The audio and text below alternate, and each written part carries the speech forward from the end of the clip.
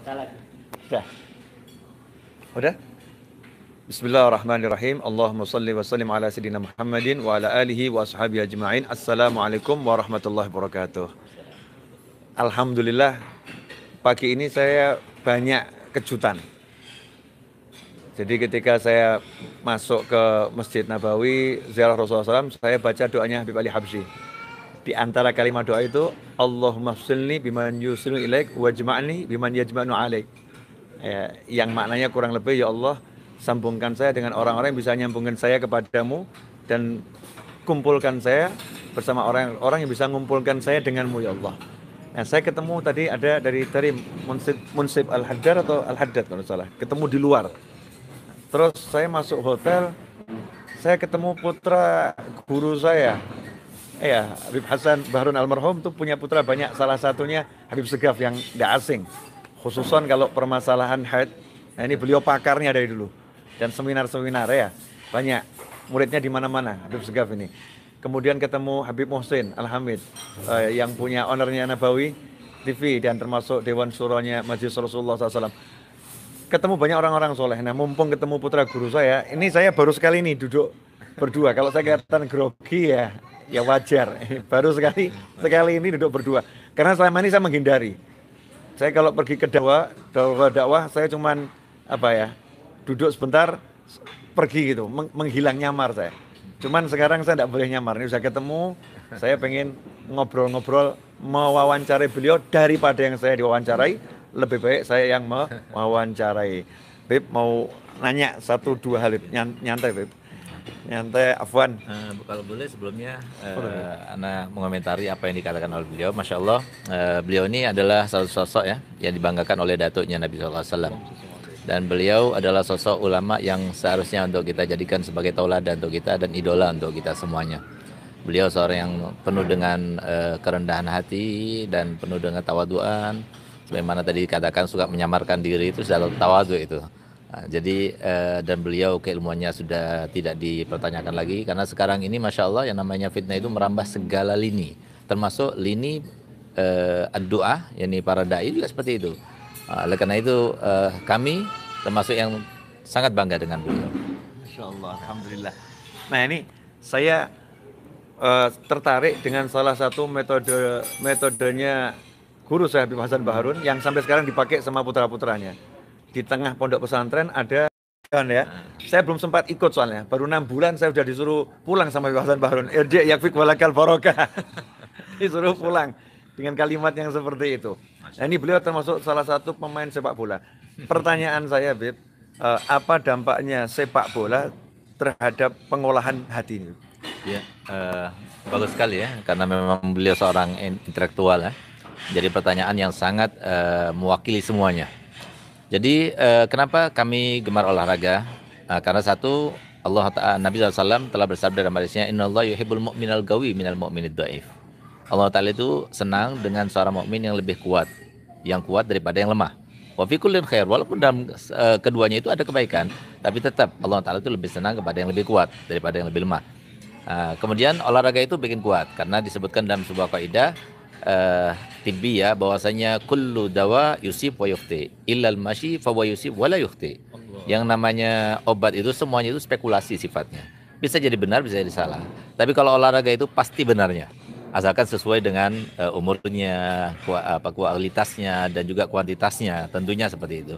Uh, kemudian itu yang pertama, yang kedua, yang namanya olahraga bola itu, itu interaksinya itu dalam segala hal, bukan cuma psikis, tapi juga fisik. Nah, sehingga bayangkan kita sebagai seorang dai, seorang ustadz, tapi jatuh juga. Yang menjatuhkan mungkin adalah soal uh, seperti yang kita pernah bertanding sama artis ya uh, Komeng uh, Komeng uh, kita Komeng sebagai kiper waktu itu kemudian kita itu uh, bawa bola sudah hampir bikin gol akhirnya di tackle sama dia jatuh kita tapi habis itu kita rangkulan gitu. jadi artinya nggak ada kita merasa apa apa jadi lapangan itu adalah uh, fungsinya seperti yang dikatakan oleh Imam Syafi'i kun katurab jadilah kamu itu seperti tanah dan kita berada di tanah nah, sehingga sepak bola atau olahraga sepak bola itu paling uh, olahraga yang paling mendekatkan kita kepada kaidah tersebut atau kepada uh, kriteria itu. Sehingga kita itu tidak pernah merasa lebih baik karena di bola nggak ada yang lebih baik. Mau kapten, mau pemain lini depan maupun lini sayap dan lain sebagainya tetap sama aja. Nah, oleh karena itu itu itu yang pertama. Jadi mengajarkan kita tawadu. Karena saya punya abah itu berpesan dan pesannya itu sulit sekali untuk kita terapkan. Apa itu? Segaf. Dari sekarang sampai kapan pun jangan berpindah dari titik nol.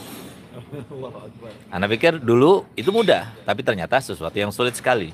Energi Allah, memberikan kesempatan Allah, memberikan cinta orang lain kepada kita juga Allah, semuanya Allah. Lalu dari kita apa? Itu artinya titik nol, itu sulit sekali. Tapi dengan cara olahraga itu, bola itu, maka itu semuanya lebih mudah untuk kita telusuri. Nah, kemudian yang ketiga, eh, pendekatan dengan sepak bola atau olahraga ya, itu adalah pendekatan yang paling mudah untuk kita terapkan antara ulama dengan para ulama, antara ulama dengan para umaro, antara ulama dengan para awam itu sangat bagus sekali gitu. Nah, karena semuanya sama, semuanya merata, semuanya juga satu profil asalkan ya tetap kita itu menutup uh, aurat ya gitu loh. Jadi ada, ada tanda kutip lah gitu. Jangan sampai kita membuka aurat. Nah, tetap menutup aurat dan itu sama sekali tidak di uh, haramkan dalam agama dan tidak ada larangan dalam agama gitu. Jadi itulah kaitannya. Jadi kaitannya besar sekali sama hati karena dengan sepak bola itulah ketika kami itu dicium tangan kami oleh mereka yang mencium kami atau yang berhusnudon kepada kami kan merasa eh siapa kamu? Kamu itu adalah seorang pemain sepak bola. Gitu. Jadi kita tetap membumi. Masya Allah. Jadi ini Habib Segaf Pak Harun adalah dai dan pemain sepak bola ternyata ada tasawuf yang sangat dalam buat dai ketika bermain sepak bola untuk selalu di titik nol merasa sama dengan yang lain jadi boleh di tackle juga. Ya bisa jatuh juga dan tidak musuhin yang jatuhkan. Eh, dan kemudian berpelukan ya. Karena memang lapangannya memang tempat untuk ber, bermain ya. Semuanya adalah partner dalam kehidupan. Sangat menarik. Jazakumullah khair ini sengaja saya tidak mau panjang-panjang, biar yang kangen suatu saat nanti insya Allah kalau beliau sudah senggang, karena ini jadwalnya padat. Ya, hari Jumat akan duduk bersama saya di Masjid Ar-Raudhah, insya Allah. Dan doakan kami bisa uh, bersama-sama membangun jaringan dakwah biar lebih sinergis, lebih bagus, manfaat bagi semuanya. Karena kata Habib Ali Al-Habsyi, tidak ada jaring yang lebih bagus untuk menjala ilmu laduni lebih dari dakwah di jalan Allah Subhanahu wa taala. Dan yang paling disukai Nabi SAW adalah dakwah itu, yang menyebarkan kebaikan ilmu kepada siapa pun. Mudah-mudahan yang menyaksikan tayangan ini oleh Allah Ta'ala disampaikan ke tempat yang mulia ini Madinah Al-Warah bersama orang-orang dicintainya tanpa susah payah. Amin. Walafuminkum. Sekian laporan dari saya dari salah satu hotel di depan ring kesekian ya. Tapi saya ketemu dengan orang-orang yang mulia di sini. Singkat Beb, sebelum saya tutup Beb. Kemarin itu pesawat yang saya naiki uh, pesawatnya rusak, jadi tidak, terbang dari Jakarta ke ke Madinah. Ditunda satu hari perjalanan saya. Tapi subhanallah saya bilang ini pasti bagus. Ada sesuatu yang luar biasa yang yang Allah siapkan. Tidak ada di hati alhamdulillah tidak ada marah, tidak ada bahagia dok Faroh. Gorib, jadi sahabat ditunda satu hari taruh di hotel tapi kok seneng gitu ya. Senengnya luar biasa. Subhanallah betul memang. Ini salah satu dari sekian banyak hikmah karena saya masih menunggu hikmah yang lain lebih banyak lagi biar tidak berhenti berhenti hikmahnya. Saya ketemu beliau ini. Terus tadi udah duduk rapat nih. Kami udah rapat merencanakan sesuatu. Apa itu? Insya Allah tunggu tanggal mainnya. Biar tetap jadi rahasia kami punya rahasia.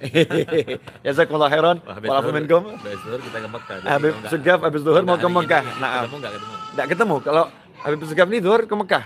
Jadi kalau ini enggak ketemu, wallahu alam kapan bisa ketemu lagi.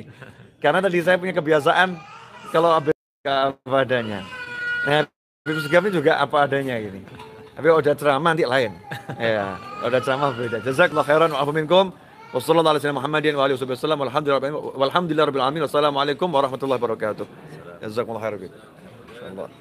Kirimkan ya Mas Siap ya insyaallah.